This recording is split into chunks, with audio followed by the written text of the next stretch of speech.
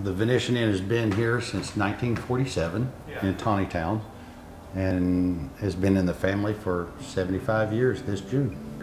Our great grandfather, my great grandfather, and um, uh, I guess, had a vision of building a restaurant with uh, motels, a service garage, um, and a gas station, Phillips 66 gas station.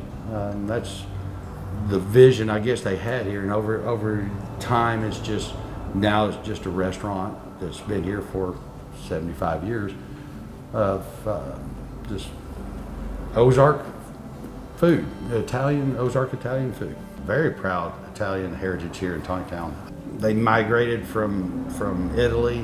Uh, my great grandparents, uh, both both sides, uh, came across and uh, settled into Lake Village area, and then then moved to the Tontitown area.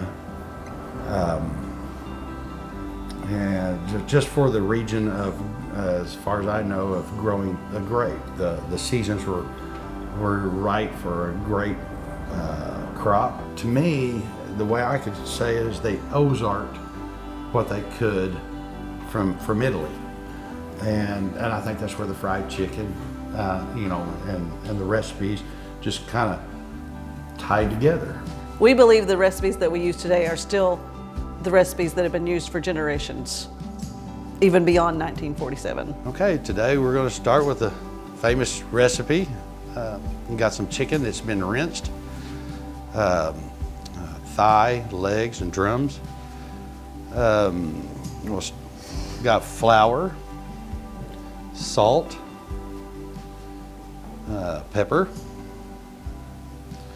and granulated garlic for the seasoning or the dry ingredients. Um, start with one cup of flour. I like to go a little over. one cup of flour. We'll do, let's see, about one, little over tablespoon of salt.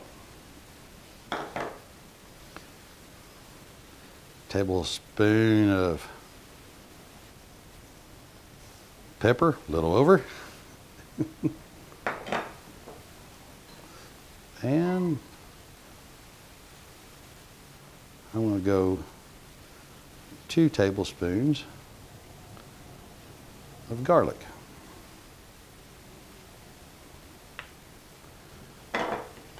And then mix it together.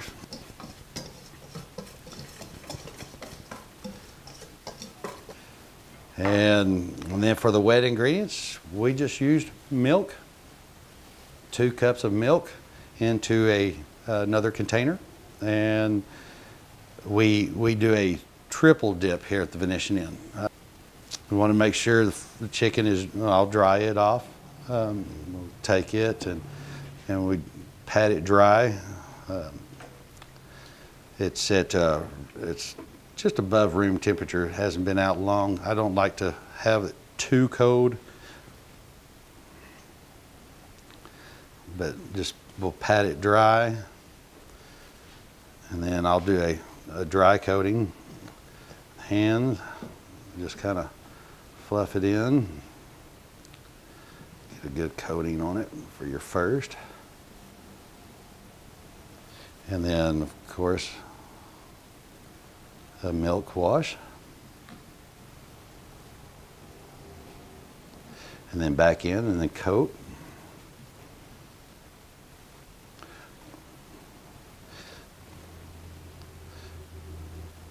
And then back in.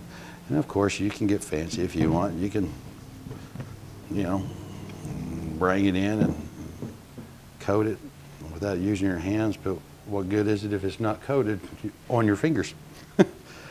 and then milk, and then this should be the last coating. Mm, I like to float or fluff it, and then maybe a pat. Get it in there good. And then just knock the excess off. And then we are ready to cook that piece. When you're making fried chicken to me, it's a lot of people go, well, it's so hard, it's time consuming. But to be honest with you, it's making memories. Making fried chicken is making memories, especially if you had your kids, your grandkids, neighbors next door, and their kids, you know, around a table.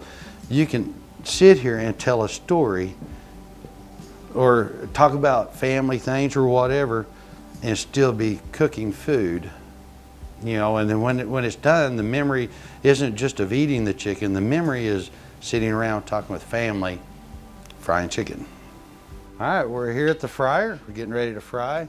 Um, again we're going to start with a fresh uh, I, we use here at the restaurant uh, a clear frying vegetable oil. Uh, you know you can use a any name brand, uh, a really good meat thermometer.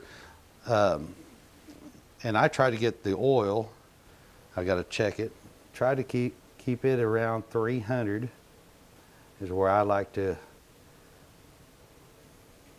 uh, we're at 3, 311, 315, about right in there. So I know I'm good and hot. Um, and then I like to, when I put my chicken in, I like to kind of put it off to the side and and kind of put it in and then on the other pieces I like to and always drop away from you that way they and keep plenty of room in there the, the closer they get they stick and then the crust falls off so you want to make sure there's room enough in the in the pan. So if you're using a pan at home, give yourself some room. Uh, don't rush it. Do not rush it.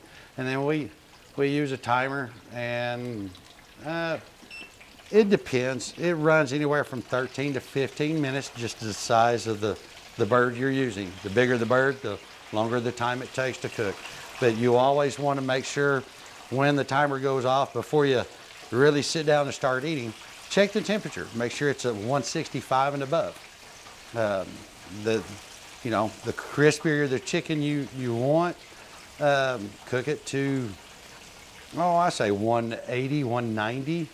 At 165, you've got that soft crust, you know, and above 165 where chicken is cooked, but above, you know, just a little bit above 165, it's a really soft crust, 180, 1, 190, right in there, you start getting a darker, crispier crunch. It's just to your liking. Each each family likes it different ways. Yeah.